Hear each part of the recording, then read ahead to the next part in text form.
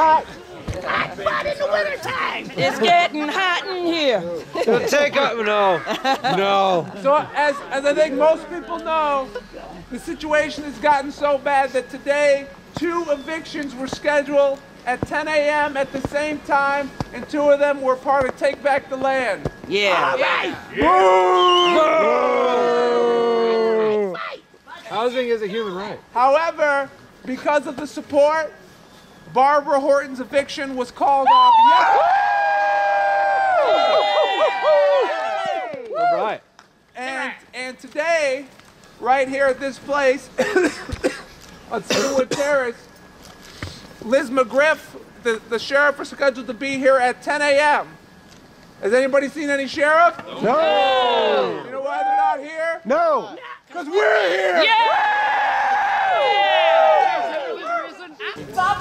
I basically just went down to uh, me, sorry. town of Arundel Court, Yeah. and uh, I talked to a judge, Judge Resson, Ressi, and uh, I explained to him the situation, and I just, you know, he told me that the attorney that handled it before, the judge rather, handled it before, that he was out of town, and he said he would look over my papers to see what was going on. So he looked over the papers, and he called off, you know, he sent the uh, papers for the sheriff, and he called off the eviction.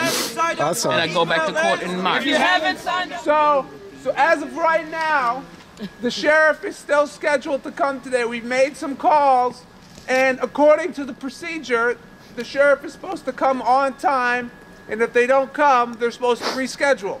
However, the sheriff is making their own rules today. As usual.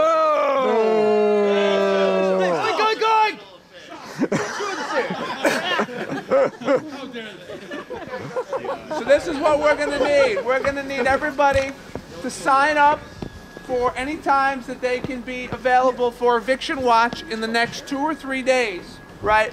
But we need a way, if, if you're available, if they do come, to remobilize. Now, I think most people know, but I just want to make sure people do know that right now we have four people that are locked to the porch in defense of Liz and the defense of the neighborhood. Yeah!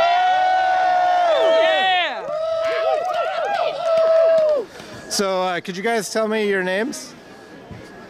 We are Take, Back, the Land. Why are you Why are you out here doing that? You're You're first of all, describe what you're doing right now. Somebody. I don't know if you guys have a spokesperson or not. Right now, we are locked down to Elizabeth McGriff's home, defending it from the greedy banks who are trying to take it from her. So how are, how are you exact? You have like a blanket on you, clearly keeping you warm. But like, is there like chains underneath you or something, or like how does that work? It's a surprise. Oh, okay, all right. Trade secret. Trade secrets. Okay, It's really complicated. I see. I see. Why uh, did you volunteer to do this? Uh, I assume you volunteered to do this role today.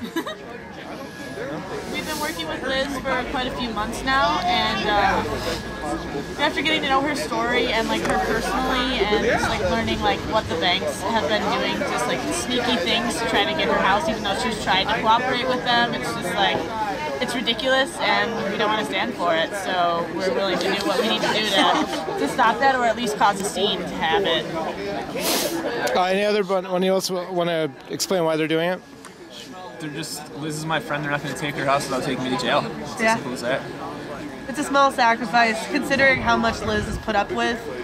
Um, you know, and this is, I think, one of the things that we can do to show solidarity with those that are struggling with eviction and foreclosure. Because housing is a human right. It should, it should be obvious to people that we should protect families and not the, the profit interests of I mean, banks. Like look around outside right now. Like you can't kick somebody out. You just can't Like, do that. you just you can't Into do the that. feet of snow. These people are heroic as, as they are standing up for their rights, and they're All really standing up for all of us. So let's give them. a Let's give them.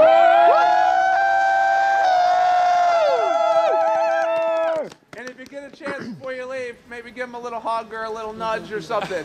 Because, um, Nudge you. because, because what they're doing is very courageous. Because if the sheriff had showed up on time, they are risking arrest. Yeah. All right, thank you. Ashe. I just would like a, a reasonable workout with my home situation because we need to be in our home. And I believe that when people get evicted from their home, that's a, a great start for uh, homeless families. You know, so people should try to work with people because people do fall in hard times. And some people they don't know what it's like to not have or to be struggling, you know, trying to stay in your home. So it would be a good thing for the banks to try to work with people more than what they do. All right, Liz, come on up here.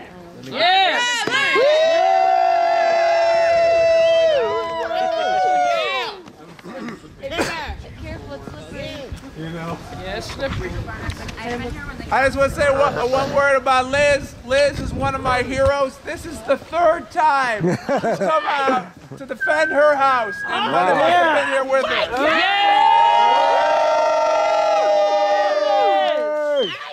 Not, not only that, Liz and Miss Horton right here. Bo- Both Liz and Miss Horton went down to Washington, D.C. on September 30th of last year and confronted the head of the Federal Housing Administration, which is responsible with MidFirst Bank for these foreclosures and All right. evictions. And they and they confronted them directly on behalf of thousands of people across the country. Yeah. All right. And and their strategy is is if they can put pressure on, if they can schedule two evictions at once, that they will break our resolve, and that we will let them con- run, run over our community and have our way. But as long as we're here, we we're we're the line of resistance that can stop them here and stop them across the country. No evictions, no foreclosure. We're taking over. No evictions, no foreclosure. We're taking over. No evictions, no Closures, hey. One, two, three, four. No more marshals at our door. Five, six, seven, eight. Don't evict, negotiate. I, I think the thing that that question me about the, how they how they process things because this was back in August that they did the first eviction, and this still we haven't gone back to court. Normally an eviction is 30 days, and um, here it's been almost six months, and they're still proceeding with eviction, not even going to court. We put in a proposal, and they didn't even answer the proposal. Um, so it's it's just been a, a moot point. So. So you're just sort of waiting at this point to find out what, what their next move is? Is that Well, we're finding out where they come when they come, and just you know positive and um, believe God's gonna work things out. Are you feeling good about the turnout and about your chances today of not I having anything am, especially in the weather, just having a storm and everything. I'm happy. This movement for housing as a human right is a national movement. yes. In, in Portland, Oregon, in New York City, people have been on the front line against for rent control. In Boston, people have been on the front line for just cause eviction. In Rochester, New York, people continue to be on the front line for foreclosure resistance. People are watching this movement across the country. We need to understand what, what's at stake here. We're, not just Rochester, but the entire country. All right. Is, is that's what we're fighting for, yes. is a change in the system for community control and winning popular support to change the system to work for the people. Take it. All right. Banks got bailed out. We got sold out. Banks got bailed out. We got sold out. I think it's important. I, I thank you guys for coming out because it's it's important that the community do does have control over land rather than leaving it into the hands of the banks. There was regulations that was supposed to um, take place when Obama went into administration, and they never have. They they were supposed to regulate the banks and how they modify. When we went to Washington, um, the um, the person that's over everything, his his main thing was to protect the integrity of the fund um, of FHA. It wasn't the people. He's saying, as far as what their statistics say, modifications work, and that's what we're going to stick with because the modifications work.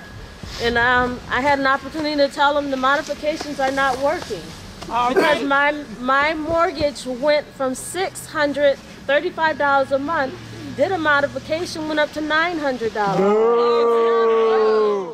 So, um, so it's it's not working. So as far as what they put on paper and what they say is working, it, it's not true.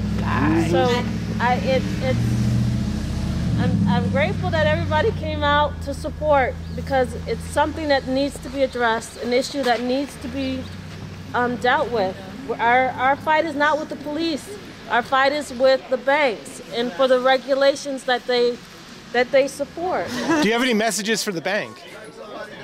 We're coming for it. this isn't the first and it's not the last time that this is going to happen. Our movement's growing and uh, it's working and, and we love our community more more than you can love your money.